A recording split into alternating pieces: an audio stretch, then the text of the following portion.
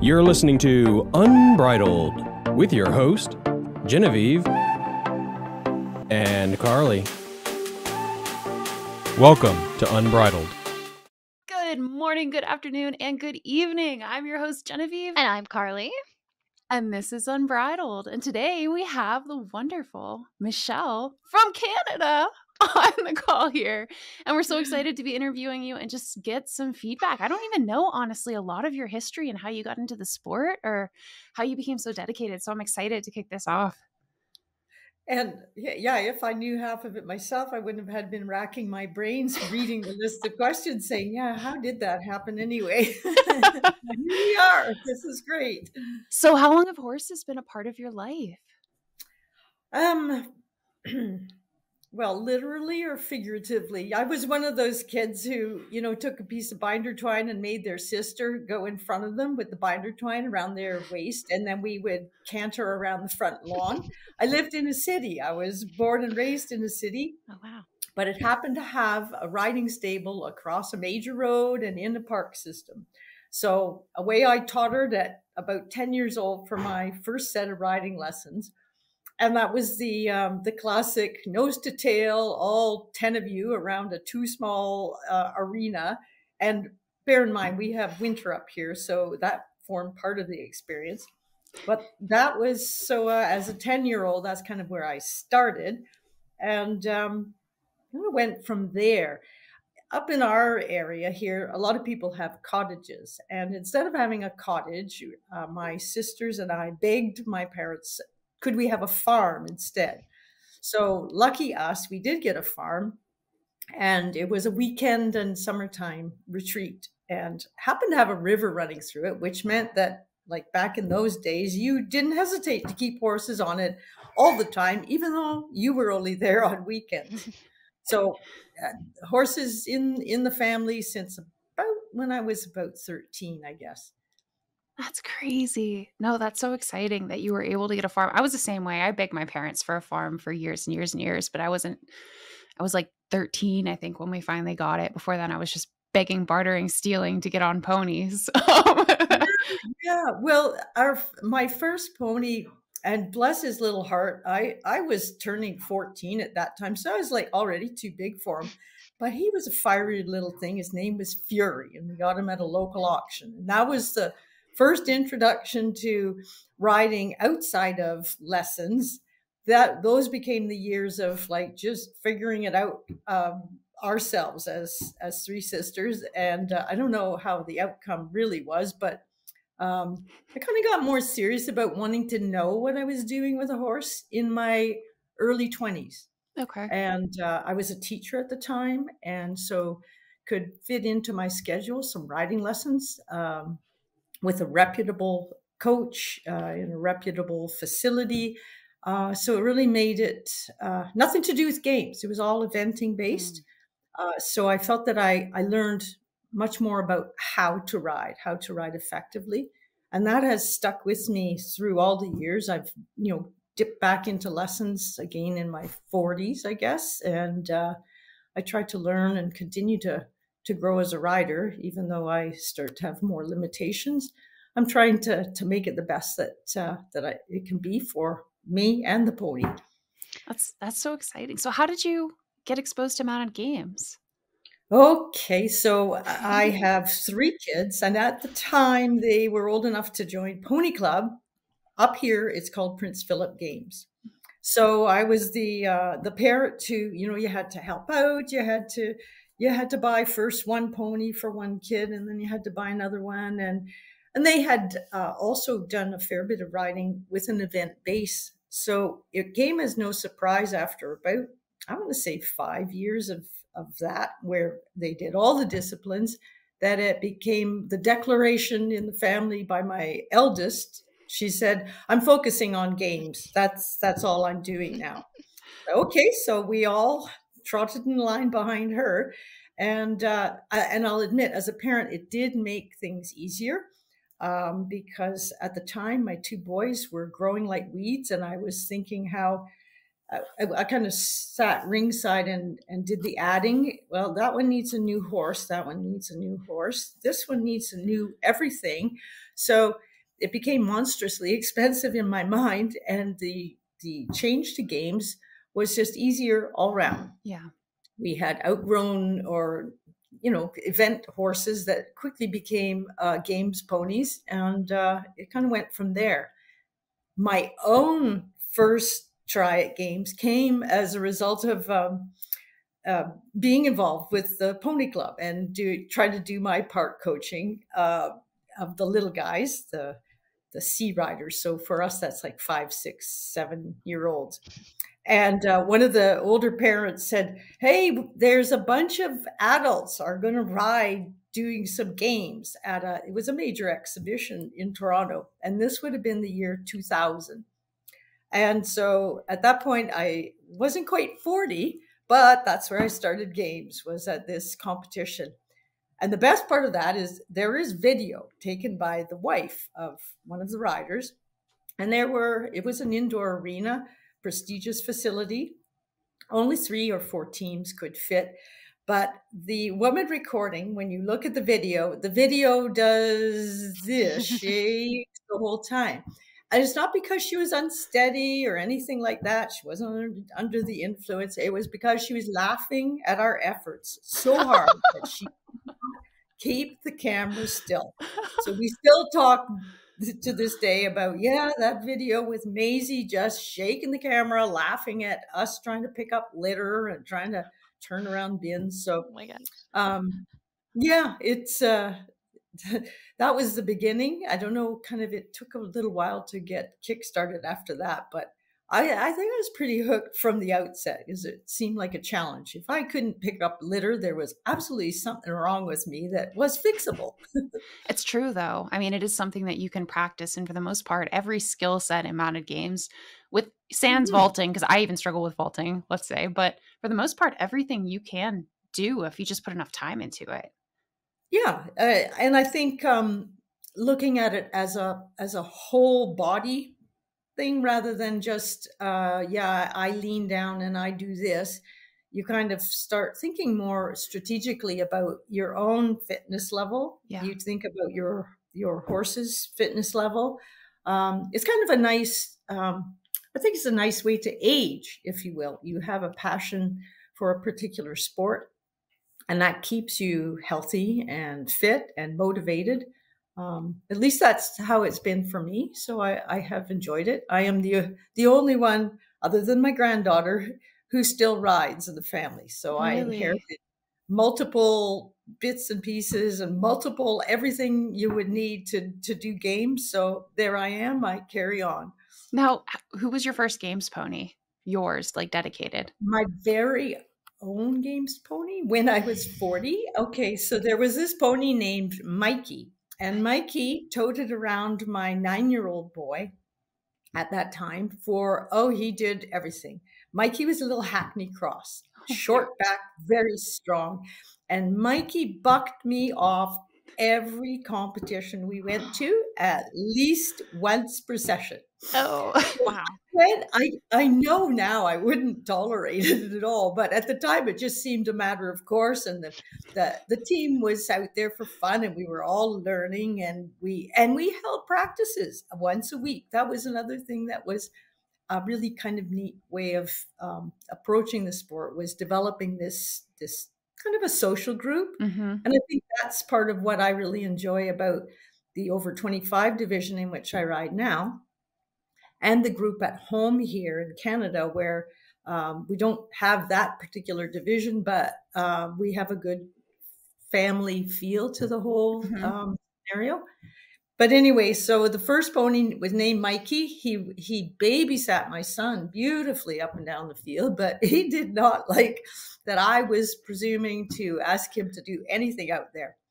So after that, I, I wound up, you know, borrowing a pony and, and he was a larger pony and I, I enjoyed that. And, but folks weren't interested in selling. So I went, went out and found uh, a pony who uh, was the first, I think my first games pony where I had to do the, the training to games.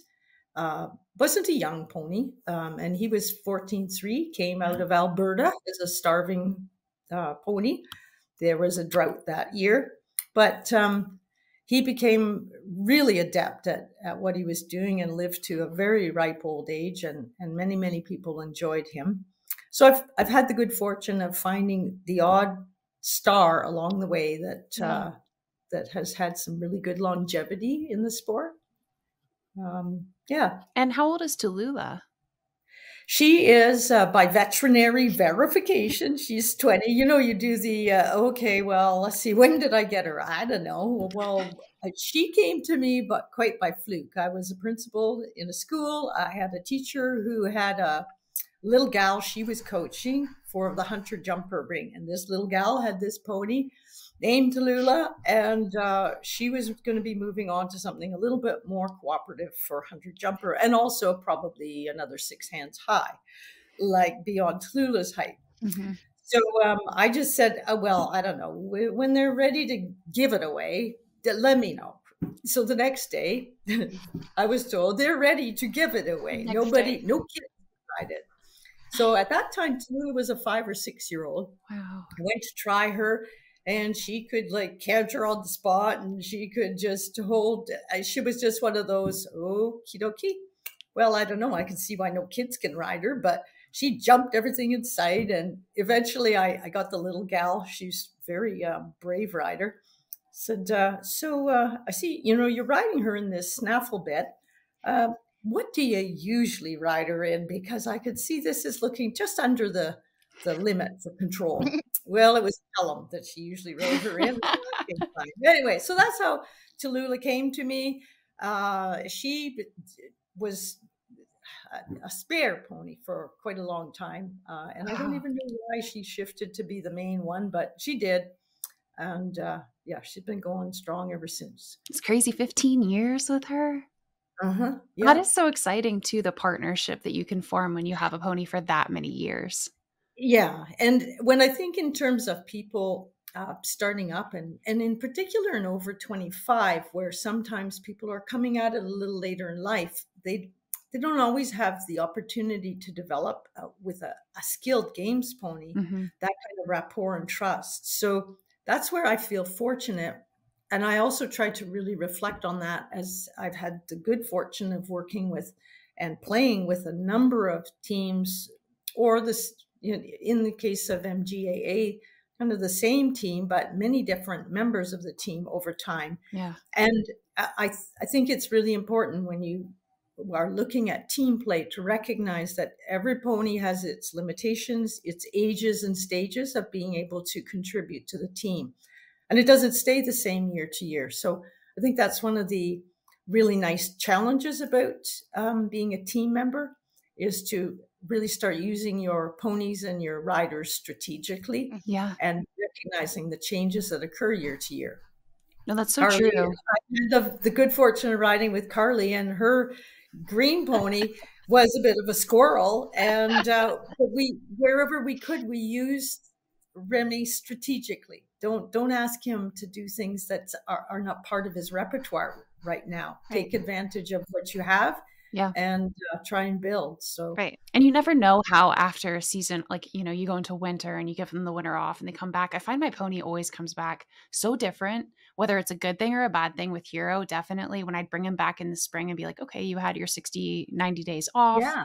and now we come back in and i feel like it kind of ruminates and there's some things that come back and they're more mature and you're like oh that's like five steps up and then there's other things where you're like how did we regress to here? Yeah, like you're reevaluating yeah, isn't that it? Um, Tallulah gets from her last competition until her about two months ahead of her first competition in the spring. She gets that time off. I have others that I'm, you know, working with. So I have always felt that she's benefited from getting uh, that that pure rest. Just yeah. be a horse, and she's always come back with, as you describe, like new things. She's either um, she's she's really assimilated into into her way of being and other things have kind of dropped there were yeah. quite recently she she's taught herself and i haven't really appreciated it or found the solution she has taught herself that when rounding a bucket for quoits or for windsor castle one should stop and stand quite upright at the bucket and refused to move on in any way that would allow a rider to nicely scoop out. So this has been self-taught. She taught herself over the last couple of months.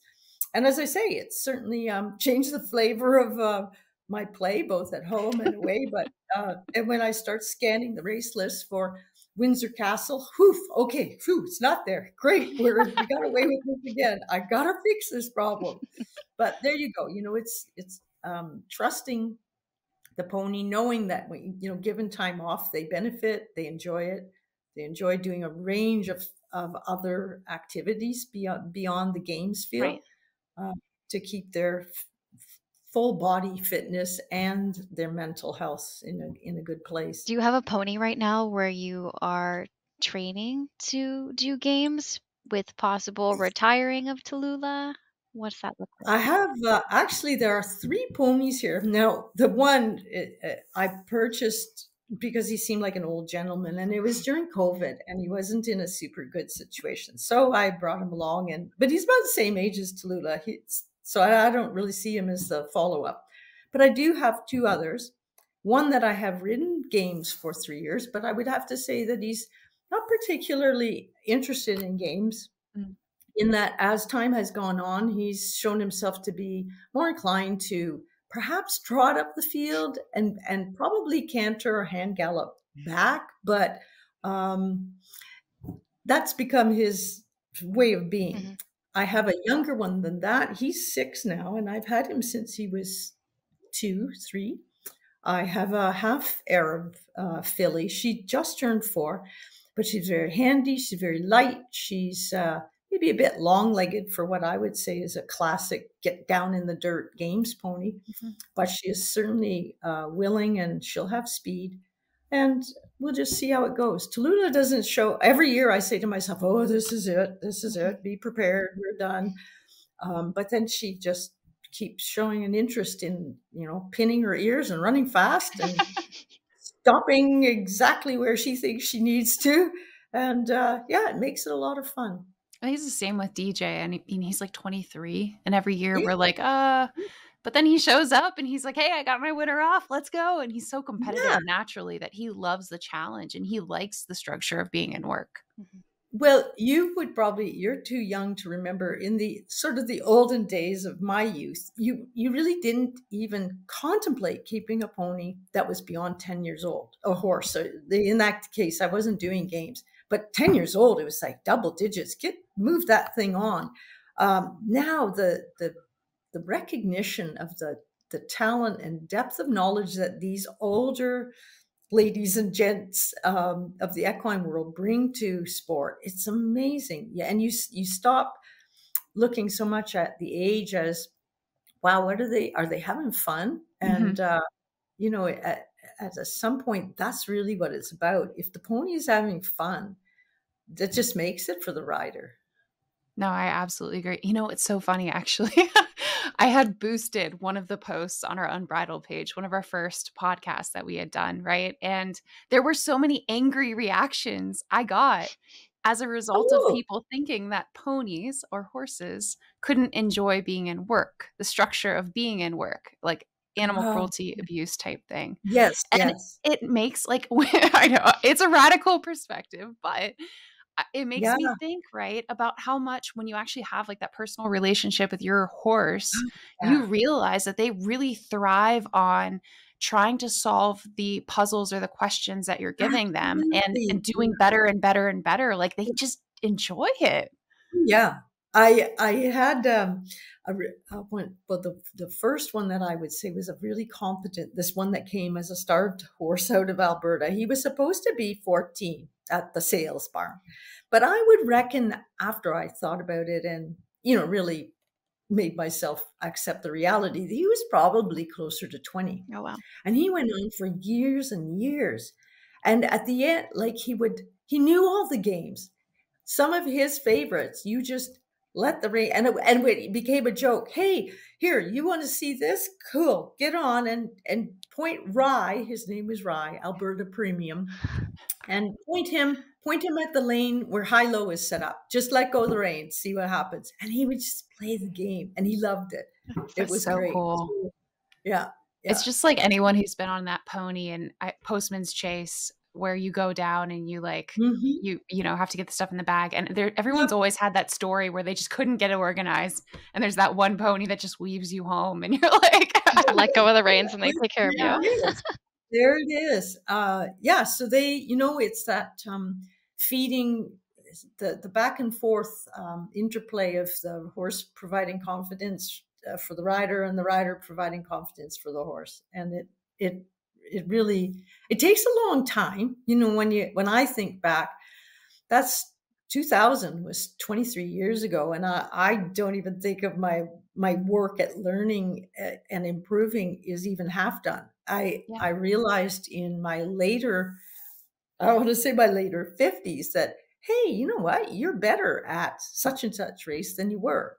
Or at least you practiced better at home than you ever did any other time in your history. Whether it showed up on the games field on competition day or not remains to be seen. But it was that sense of, hey, these these these things can be continued to be learned. And that's what makes Yeah. for me over 25 such a nice division for people who are um, well, it's an age, it's the only age based division I know. So you're an automatic member um, as soon as you hit 25. So you Yeah. you can bring whatever your limitations are and your your strengths and uh, really kind of um, find your space. No, absolutely. And And there's such a wide age bracket even for the O25 division. I mean, you have yeah, people who are t- just turning 25 all the way up to these crazy yeah, athletic ladies that have multiple generations behind them. And it's so exciting to see. I mean, and you're right, because it keeps you. You're continually gauging your athleticism and making all right. How eh, how mobile are my hips? Can I get up on the horse? How well can I yeah, lean? yeah, You know, yeah, you're consistently looking at your composition and how well you're staying in shape just so that you can continue bettering your skill set. And yeah, a lot of people, I think we get to a point where you mature and then you sort of like back off on that. But this is like, you're right. Yeah. There's so much opportunity to get better. Yeah, I think it's the you know you you when you're honest with yourself and and that to me is an attribute of perhaps more maturity where you can say these are my limitations and you can choose to respect them or you can choose to just bowl through Mhm. whatever. Um but when you you know you look at the the people with whom you have the opportunity to ride and you then you start incorporating their limitations and their strengths uh, it really is a way of well i, I just view it as very uh, humbling and uh, enriching Mhm. for Yeah. me to say okay wow so and so on the team had I one of my team members I think my most recent comment was you used to be a two bounce person to get back on you this year you are a one bounce person and, and that was that to me is a huge reflection of their earnest work at Yeah. improving their physicality um and yeah there's no no looking back and saying oh yeah sorry met finished met my limit. I think the o25 division allows some latitude for those limits let's say. Yeah. um, and that uh, when i compare it to up here we have um, we have mounted games competitions and it's called equine mounted games canada.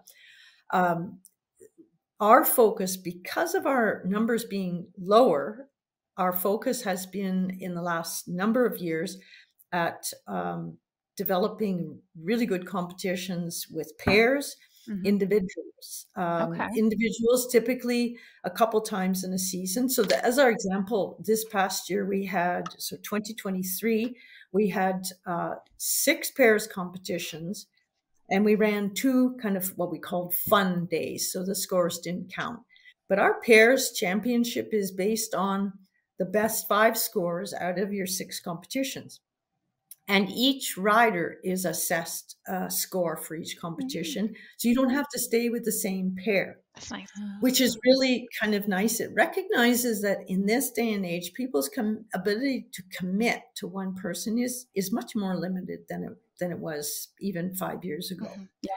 We also have run um, some individual competitions, which are essentially the the two of them comprise the championship. So we don't make it easy. We don't have one nationals, we have to do a whole mess of competing.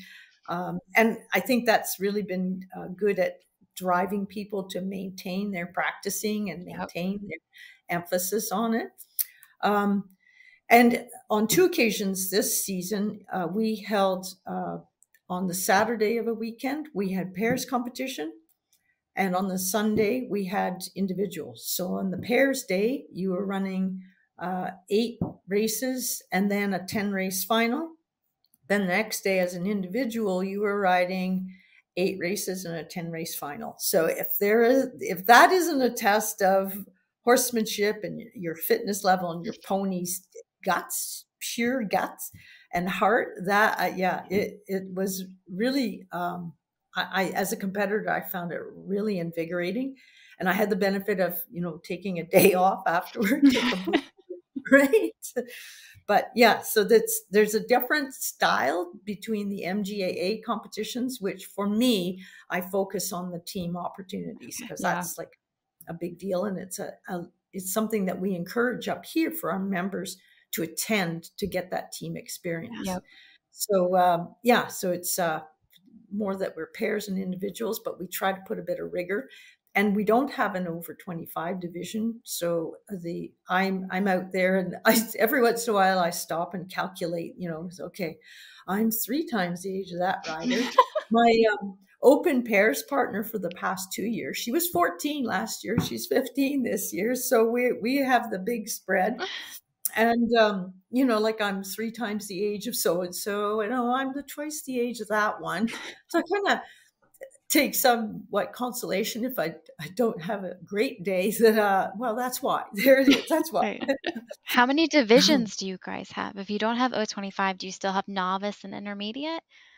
Well here's the thing carly. We over the past i want to say four years pre-covid yeah we i think we've had a shift in our divisions for each year and it's largely we each year we would um we do uh, get feedback from the membership to look at what best meets the needs. How did people feel about the divisions?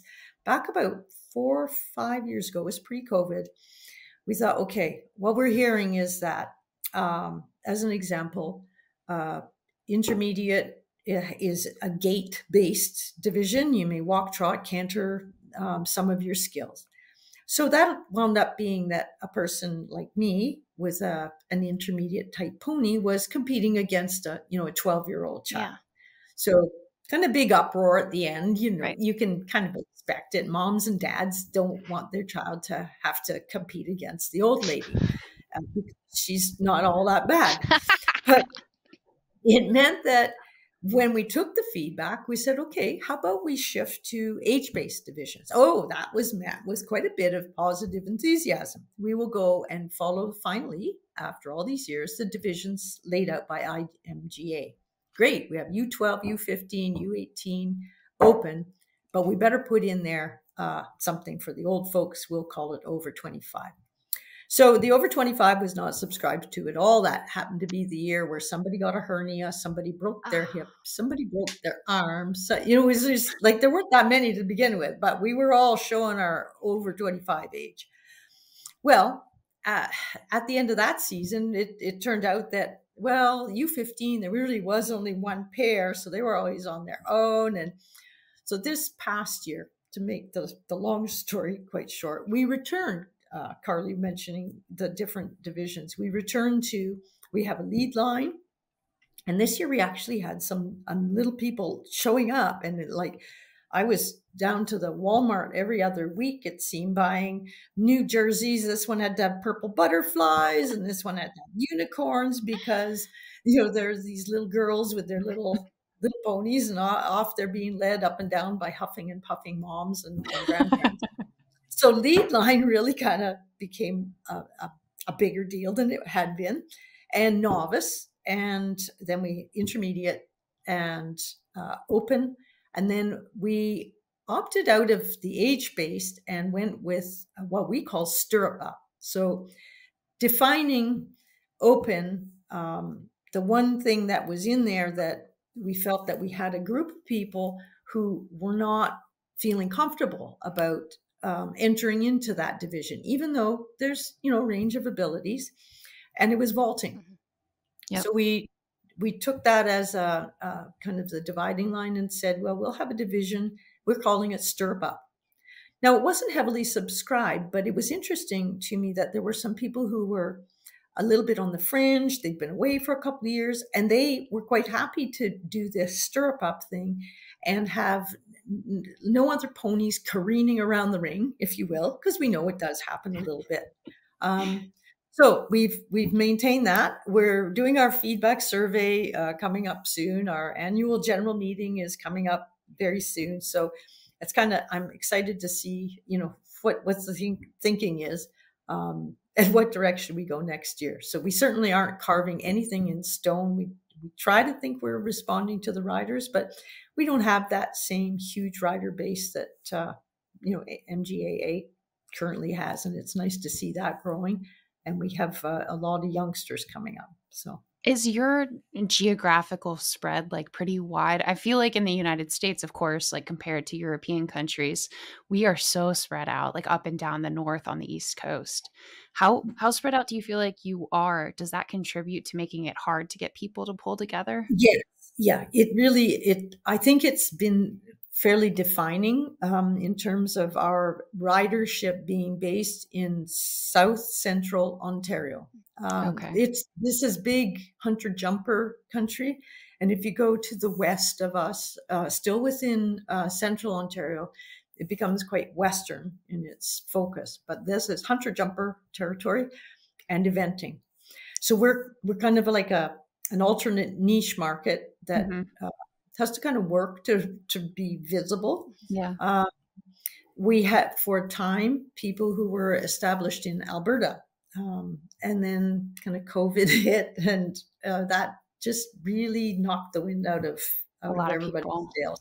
Yeah, uh, like when I consider Ontario for us, it's like to to go anywhere else is eight eight hours drive. If I wanted to go to Quebec to compete, we had a person who was in Quebec, so so to ask her to come here was a big deal. She Yeah. was eight hours drive. Um, then we had some uh, someone who was in British Columbia, so that was almost impossible. You had to you had to fly. Yeah. So I think for us, um, as much as I'd like to say that we're very nationally based, we we are pretty locally based, Yeah. and um, I think it's a bit yeah. Like if you look at the Mid Atlantic states, we're we're not anywhere near as broad as that. Yeah. No, it definitely. It makes me wonder too how many amazing games ponies are out there because they're usually the fallout of like the hunter jumper ponies that didn't really work out. And I'm like, what kind of market is up there, Michelle, that you've been holding out on us with? no, you know what's really interesting, Genevieve? We wind up with um, uh, what I call it's a real dilemma for us um, to get a games pony up here, and uh, is very difficult. I, I, I was speaking with my veterinarian ter- veterinarian in terms of the, it was to do with like the breeding of ponies and horses. How Mhm. what is the trend in in this area? Well, it's been a steep decline, and people are are breeding only Welsh ponies Mhm. typically. I'm generalizing a bit, but it's a Welsh pony that's being bred for the sport pony Yep. uh, hunter jumper division. And so there's a price tag that goes with Yeah. that, associated with it, that is really kind of out of the realm of consideration. Yeah. Yeah. Our our um, because we're a highly populated area, major city being Toronto, the gen you know the that whole region, people are paying a lot of money to board horses. There aren't typically like I, I've seen smatterings of places in the states that where there's a kind of a suburban five acre, five acre, five acre. You see Yeah. a you'll see a horse or two in a paddock. Um, we don't have that too much. We have boarding facilities, and then you're out into the countryside. Um, and so it's expensive to keep. If you're choosing to keep a, a 13 two hand pony or a 16 hand hunter jumper, where you might be at a prestigious um, competition with your your coach and all the rest of it, your your money is probably not going to be boarding a 13 two hand pony. Yeah. Right. So, so yeah, it's an interesting, and that's just my no, I'm, yeah, gathering of like my own set of evidence over time. But uh, I think that sums it up not too badly. What's the uh, season um, like for you? So uh, my warm blood ash, actually, I imported from Alberta. And I remember mm-hmm. that they had a massive indoor, and during the winter, they'd basically do turnout in the indoor when they had like tons and tons of snow periodically. Um, and so in my head, I started to formulate this idea that in the winter, the only way you operate is if you have an indoor when you have horses. is so what is it like? yeah, um, I think this is where, you know, whether you believe in climate change or not, I can tell you here we have experienced generally in the past eight to 10 years a shift toward freeze thaw, rain, snow, freeze, melt um, kinds of uh, weather patterns from about like, like it doesn't even seem to start till January, but it our winter seems to last longer, well into end of March, where we're still frozen. Mm. Um, the footing is is a huge um, impediment to being able to do anything. Last year, it was just ice to make the, the voyage between a, the barn and the indoor arena, even if it was 80 meters away, it had to be pretty blanketed with shaving manure mix mm. to, to make that a safe journey. Wow. Um, so here at home, there wasn't really any riding. I kept a pony indoors, and uh, that suited me well. Um, but uh, when we have a really nice year with our snow and our snow base, and it stays, and the weather has the odd sunshine. There's there's nothing more fun than getting out there until you're frozen. but uh, yeah, Alberta is a whole different uh, ball of wax, if you yeah. will, because they have very cold but very dry winters. So ah. they they always talk about yeah, well it's minus whatever, but it's a dry cold. so, what does that mean? Well, I think it means you really can't breathe without dehydrating your lungs. And so you're, you know, you do have to have an indoor in which to turn out oh, horses. So that, yeah. that, that is a real thing. Um, I I sent out to our membership uh, two winters ago a really nice article that talked about the rest the effect of temperature on respiratory um, um, functioning in horses, and that we really weren't giving enough um, credence to even a couple degrees temperature drop as being impactful on their lungs and respiratory system. So it's like, okay, so here's here's the thing: you actually shouldn't be cantering your horse around when yeah. it's mm-hmm. Fahrenheit would be I don't know it was, it was minus ten Celsius, but I thought, well, this is really good information. I think I read that when you shared it, and it yeah. it all kind oh, of yeah, coincided too. with me around the same time that I start. I was running outside, so I had started running through yeah. the winter, and I also am a mild asthmatic, and I remember how traumatic it felt when I was running in the cold, and I kind of started putting two and two together. Like, I expect my horse oh, to compete. Like, am I putting him through this? You know? Eh, yeah, and and you're giving him it's, no choice, Yeah. and yet, yeah, like you would I, I, used to run through the winter myself, and it was like having that balaclava over your face, thinking, okay, I'm taking in less oxygen. I really could do with a deep breath, but I'll die if I breathe that cold air. exactly. And and having a voice that sounded like someone who ran regularly in the cold. Yeah yeah, yeah. No, it's it's very difficult on them, and it, it, definitely, I think, working out just in general, and for me, running where it is more taxing than maybe just weightlifting, really made me a bit more conscious about my horse's fitness and how yeah, I want to plan, you know, conditioning for him. So I was curious, like, what do you do for conditioning when you're bringing your horse in from the winter? Oh yeah, it's um. So a lot of what initially um and and I think uh, it depends on the, the pony too. For for an older horse that's been in shape, they do come back into shape quite quickly compared to you know to me bringing a, a youngster to a level of, of kind of hard fitness that mm-hmm. they can maintain. But for Tallulah, we start uh, the beginning of February, if I can, just walking. If there's, there's no footing, that, then we, we just don't do it until there is footing but um, it's like uh, uh, I would call it interval training. Just walk for a long distance the first day, then the next day there's a hydro pole. We're going to trot to the hydro pole. So it all it all winds up being kind of the same program, and I just base it on how she's feeling, how what's her breathing like. Uh, so it's when the breathing gets heavy, bring it right back down, let the heart rate recover, then pick up the pace again. And it just brings her back quite nicely. She enjoys that, though. Yeah. Some, you know, the the other ones I have, they're they're better for just doing long trots. Yep. Long trots, some uphill, slight uphill. Where I live, it's either all slight hu- uphill or slight downhill. And I, I don't know how I wind up with both directions being uphill and I still get back home downhill.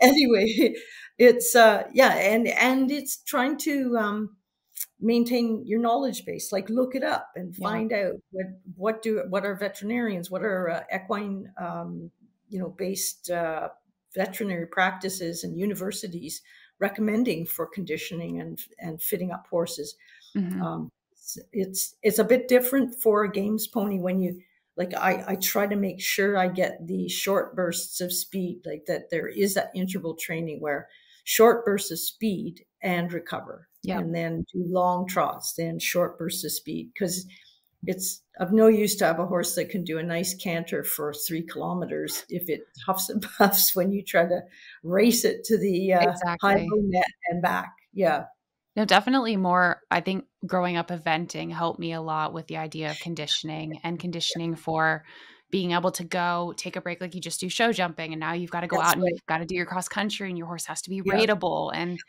so definitely doing those transitions out there and just encouraging like any kids that watch this it is so important to take your time building up that fitness and that foundation of fitness with your horse because it saves you from so many injuries down the line Oh yeah, so much. You know, when you consider that for um, humans going into you know race training or or long distance training, the the research I read at one point was that allow yourself two years for your tendons and ligaments to get in shape. wow Most people don't really make allowance for that because you figure once your muscles are tough and hard, then you're all good to go. But there's a little bit of that you carry in the back of your head when you're working with a horse, and particularly as a horse ages, you're Mhm. saying, okay, what additional supports does the horse need?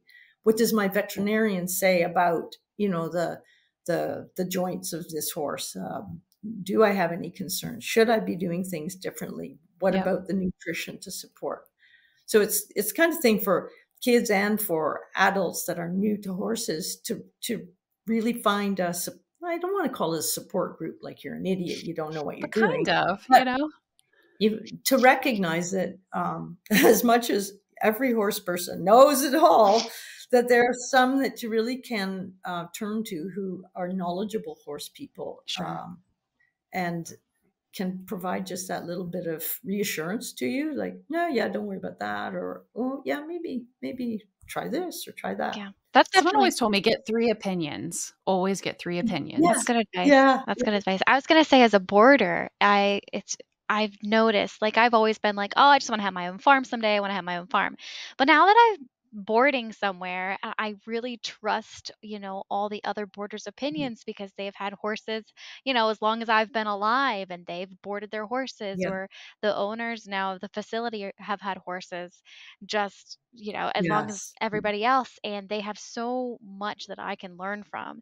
I'm like, hey, what do I do when this happens? Or, you know, should I call the vet now? Should I give it some time? You just like different things. And it's so nice to have yeah people that yeah you can rely on as, and it's just a good point to bring up for people that want their own farm. Remember, you have a community and a yeah because facility. you're in that yeah. you are it Yeah. You're the one who has to say, "Oh my goodness, I can't let that trailer freeze into the ground out there. It's January. I need to be ready for a veterinary Yeah. emergency. I need to be able to pull that out. I Yep. I need to maintain, you know, it, there's there's so much that and there's so much joy that goes with it. I think that rapport that you get Yeah. with your animals is is like second to Right. none when they see you as a caregiver. Right.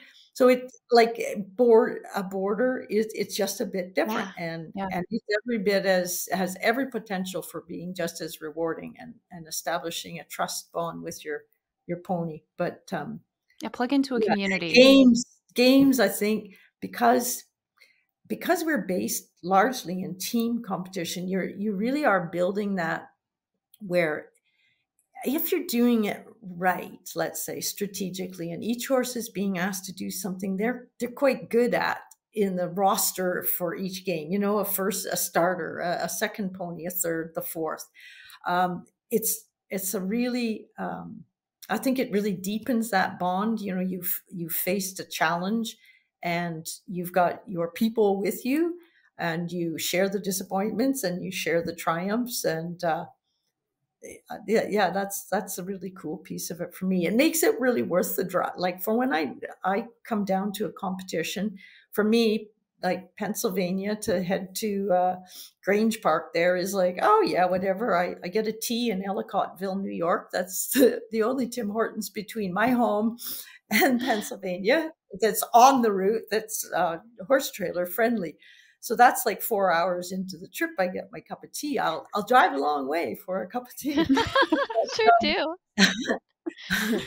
it's just um, it's it's kind of cool to to have that time and i think that's where i view it as it's almost it is kind of holiday like you're you've probably you both would know like the packing up and getting ready and and getting there is if nothing else it's the thing that's going to have you cut your hands strain your knees yep. uh, throw out your lower back nothing to do with riding so to be able to for me to be able to pace that out a little bit and then get there and then i do allow myself a bit of time to just to chill Decompress. and to, to, feel mentally prepared to to review things about the either the race list or the program or the scheduling um, so i really i try to make sure in all of the commotion that i'm maintaining my my um, appreciation of the fact that it's fun. I, I've chosen to do this. I do it competitively,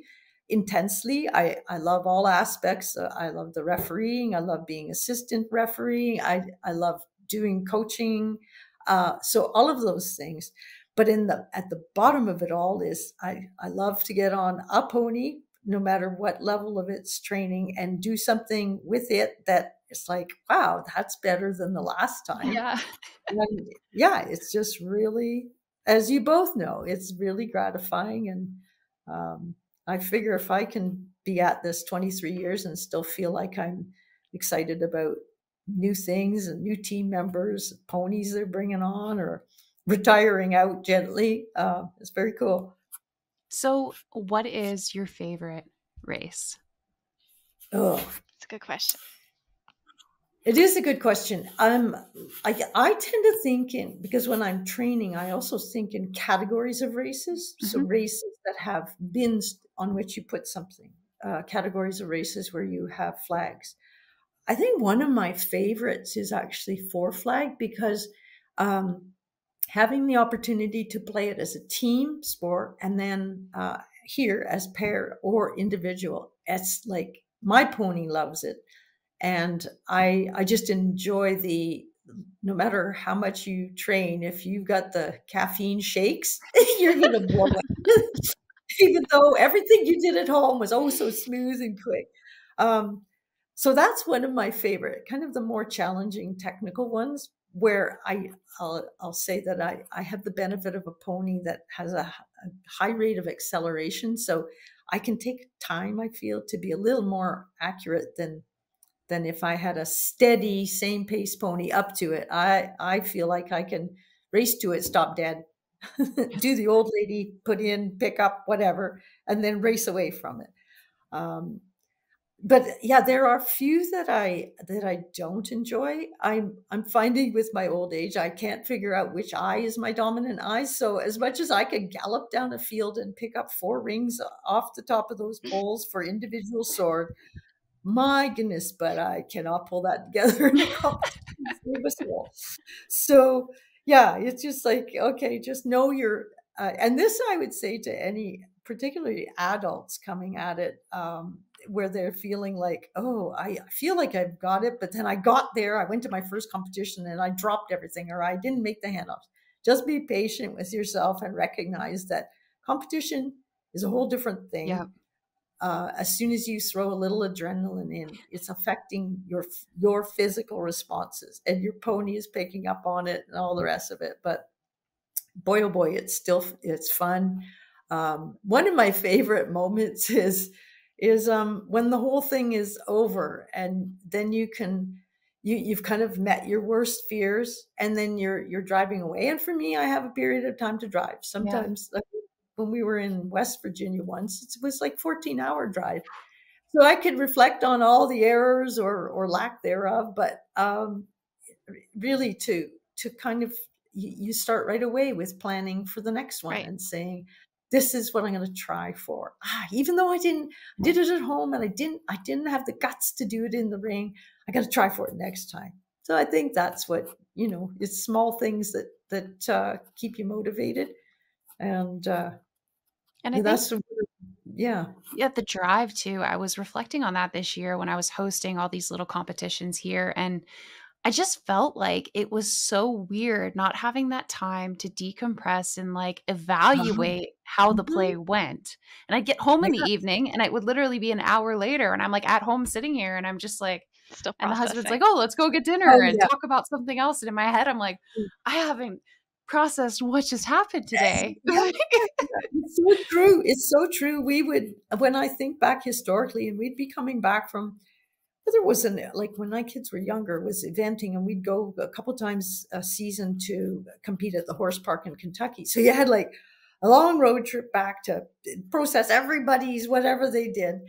And it, likewise with games. And i, I have had uh, a, a, really fine traveling companion in leslie. And we can i mean we've missed critical turns and off ramps on, in, on occasion because you're just rehashing things and uh, generally, you know, kind of living it again and and dulling, dimming out the parts that were maybe less successful than than you would have wanted.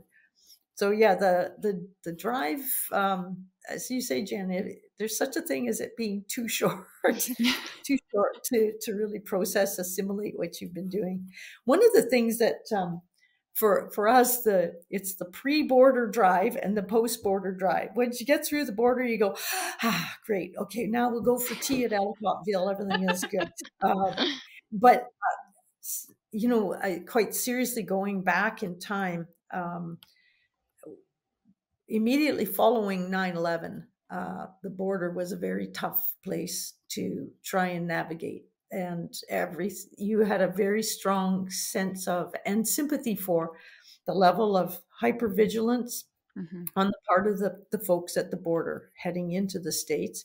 And interestingly the same thing on the way back even though we were canadians returning home what's been really nice when i think back is the experiences we've had in uh, the last couple of years just post covid where the sign of things easing up is a huge inconsistency from one shift to, to another, to one officer, to another. To it's like the here you got to go into secondary inspection, but the last time we didn't. Nope. Well, you're going this time. Um, yeah. To now, it's um, it's it's quite a smooth um, passageway. Uh, we, you know, of course, you have your paperwork in order, and it's um, I, I wouldn't want to be without that but you're you're dealt with at the booth. Mm-hmm. You don't have to go into secondary on the southbound trip. They're saying you're just going for the weekend. Yes, we're going to a pleasure horse competition, and uh, well, enjoy your stay. It's like wow, that shaved so off cool. forty five minutes. Yeah. yeah, and on the way back, if I had to say, Canada's a little more stringent occasionally you'll get someone who says, "Yeah, oh, you're just returning with Canadian horses." Uh, yeah, I went through Thursday in the morning. Okay, carry on. And then other times it's okay. You know what to do when you head in the building? Yes, yes, I do. Um, so just trying to, and I also you have to paste a smile on your face for the video the whole time. but no, so seriously speaking, when I reflect on the, the time, because I've been traveling across the border since 1998 with eventing, wow. and uh, it it's it's a much more pleasant and straightforward trip. And I, I, think too, when you you've done it a number of times, you lose that nervous edge that has them starting to probe the question. Now I just spit out the answers. No, I'm not carrying any weapons or ammunition. No, definitely no cash over 10,000. Yes, I have one can of beer left from a six pack. they, they, uh, I think they take that I I sort of know what I'm doing when I I go through all that, so I I don't get into any difficulties. But yeah, it's definitely and what and uh, so you won something. Oh yeah, I got a ten dollar gift card. No, this time it was twenty dollars. It's a twenty dollar gift card. Oh. Oh. I spent this many, you know, dollars to go to it, but I'm so happy with my gift card. what is your most memorable competition that you've had in games? Like an experience that you had when you look back and you're like, that was oh, amazing. You know what, Jen? In fairness, I I would have to categorize them because as a team, Mm. team wise, I I think one of the earliest ones was um, when Border Patrol was in, in its earlier days, and we were in um, I think it was West Virginia. I always forget the name of it. It's the Jefferson County? The, no, no. So maybe it's Virginia, but it's the one where Doswell? um, could yeah. It, there's Kings. There's an Yep. amusement Yep, park. it's oh, on- Doswell, Virginia. Yep. it was really sorry stinking hot and we were a four person team Yep.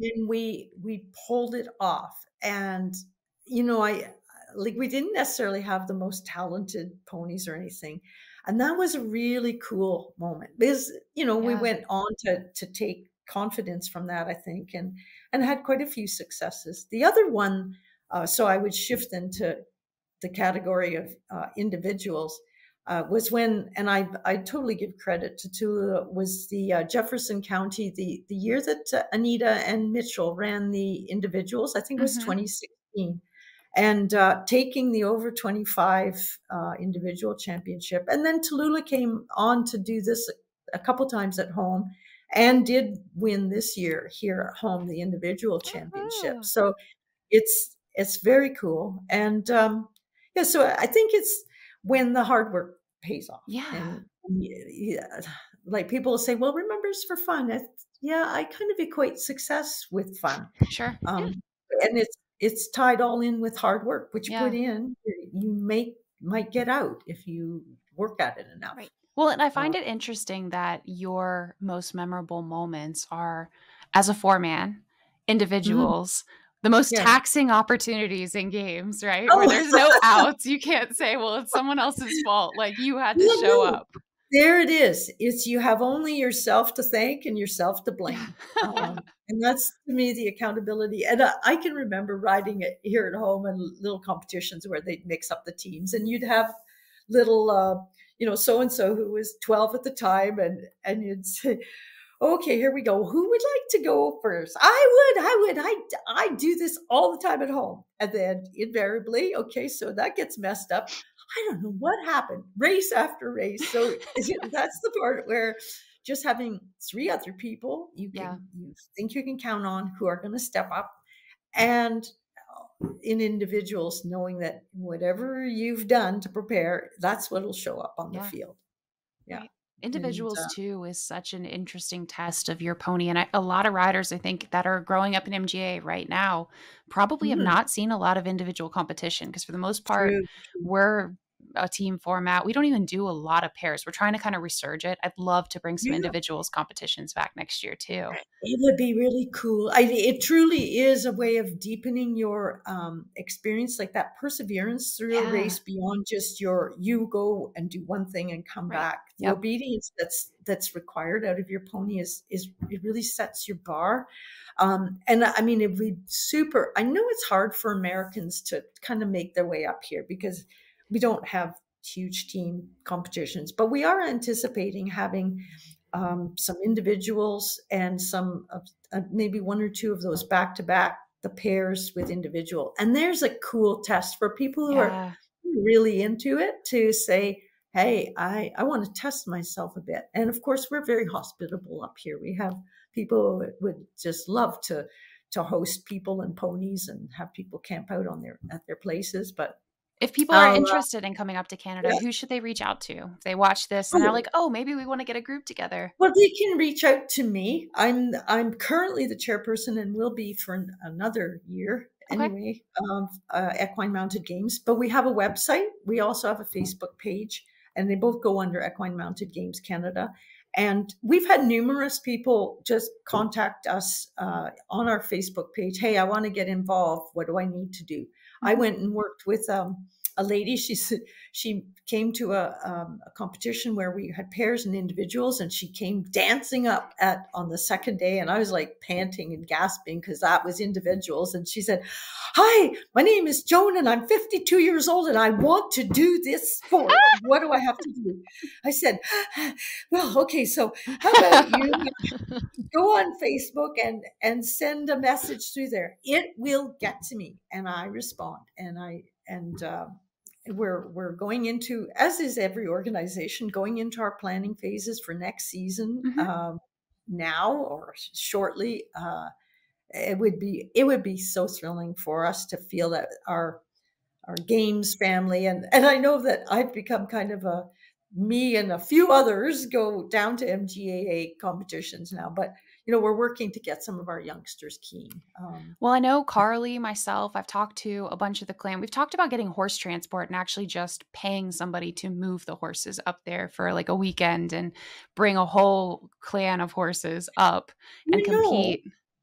I, I can see the the appeal in that. The other thing that I suppose you would want to consider, it's not that big a deal. Like, well, our um, fear is we have old old trucks. Like old we struggle vehicles. with getting to PA sometimes. Oh, They're like two, like early two thousand vehicles, and yes, so they break down yeah. half the time to our three hour drive yeah. competition. So I totally get that. yeah, I've been really blessed with. Um, you know, a family situation where I, I just sort of give my dates and say, um, I, I'd like a truck for this and uh, don't really want to break down on the side of the road. Right. And uh, though I've had a couple of interesting experiences over time. Um, oh, no. But for the most part, uh, yeah, I get you with the, the 2000. And, I drive with a 2002 trailer. That's become yeah. my okie dokie. But uh, gotta start planning, right? Yep. yeah, well, I, yeah, I think I've actually planned myself into a new trailer, which I pick up in another week. So that's so exciting. Yeah, it is exciting. I got to admit, it is exciting. I decided I was too old to freeze and and and boil and and worry about the bottom of my trailer falling out or something. So that's the benefit of having shown some commitment over time to my sport. I feel I deserve it. Those battle scars. No, but That's we definitely right. want to show a presence. I think oh we want to yeah. figure out how to get a group of people up yeah. there. I think we all want to experience it for one. I would love to do pairs individuals, that shift that you guys are talking oh, about. Yeah. yeah. It's exciting. Yeah. It's, yeah. Oh man, bring a lot of food to eat. I could not get enough nutrition into me. It was ridiculous. anyway, but I would be happy to give tips and pointers. And um and our our our typically those competitions happen in the what we call our holiday from university and school in the late July, August time mm-hmm. of year, so that um, because individuals conditioning for that takes time. I, I it, yeah, when we have winters off or bad footing, we really need to make sure those ponies aren't gasping and dying. It's fun for them too. kind of important. But, uh, it's uh, it's really nice, um, and I appreciate the time you two are taking to promote um, kind of the whole the whole picture. It's not just about you know what what pony, what size do you get, what breed do you want. Um, it's the whole uh, it's a lifestyle it's like a, in a way. Yeah, yeah, there it is. Yeah, yeah. it's the, the lifestyle. Um, it's very engaging. Uh, it's a really neat way to meet people, but you don't have to. You, like you're in a context. You you don't exactly. have to love their politics. You don't yep. have to love their religion. You don't have to. They don't have to love yours. Yep. You're there to meet a challenge and that's your common ground and it's it's very very very uh, rewarding and, we're so uh, unified over our love for horses this team yep. sport that is so dynamic and requires athleticism and you're right it kind of flattens the ground it's like i don't care what you believe so yeah. much like none of that matters because we're showing up and we're just going to put you know our best foot forward with our horse and see as that's a team right. if we can accomplish this yeah yeah and, there's always like either the next competition or next year like something exactly. there's an opportunity to fix all this do better Gosh, that's Oh, so true. So we're at the top of an hour. Is there Yeah. anything that you want to cover that we haven't? That you want to pitch that you haven't?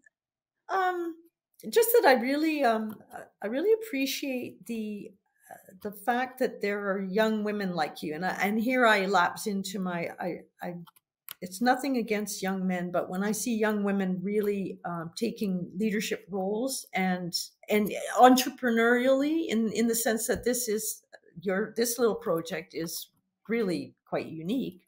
Um, so I commend you for making that part of what you do, and uh, you. it all it benefits us all and uh, I I'm, I'm proud to be have been asked to to share this and uh, thank you for doing that and uh, I'm looking forward to the winter being over it hasn't quite begun but I'm looking forward to being back out seeing you gals out on the field again right there with you. Absolutely.